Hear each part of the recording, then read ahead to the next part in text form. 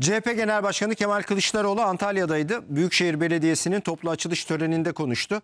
CHP'li belediyelere yönelik soruşturmalara tepki gösterdi ana muhalefet lideri.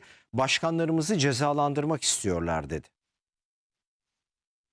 365 gün denetim yapın. Denetimden çekinmeyiz. Denetimden korkmayız. Ama ön yargılı denetim olmamalı. Ön yargılı denetim. Olmayan bir olayı olmuş gibi yapıp belediye başkanlarımızı cezalandırmak istiyorlar. Belediye başkanlarımızı cezalandırmak istiyorlar diyerek CHP'li belediyelere yönelik soruşturmalara tepki gösterdi. Geçen bir belediye başkanımız 200'ün üstünde müfettiş geldi. 5 yılda olmamış 200'ün üzerinde. Dedim ki yer ayırın, makam ayırın. Gelsinler orada otursunlar. Hatta Ankara'ya gitmelerine gerek yok.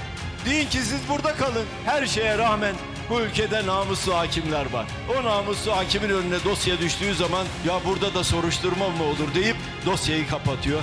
Veya belediye başkanı hakkını belediye başkanına teslim ediyor. CHP Genel Başkanı Kemal Kılıçdaroğlu Antalya'daydı. Selin vurduğu Kumluca ilçesini ziyaret ettikten sonra Büyükşehir Belediyesi'nin toplu açılış törenine katıldı. Birilerinin belediye başkanlarımızın çalışmasını hazmetmediğini de biliyorum. Nasıl olur da bu kadar müfettiş gönderiyoruz? Nasıl olur da bu kadar paralarını kesiyoruz? Nasıl olur da bu kadar engeller çıkarıyoruz?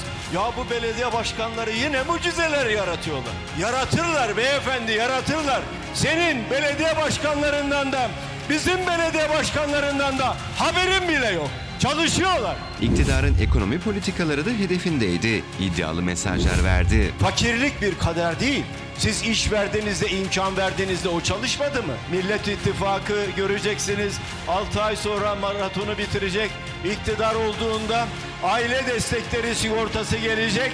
Hiçbir ailenin geliri asgari ücretin altında olmayacak.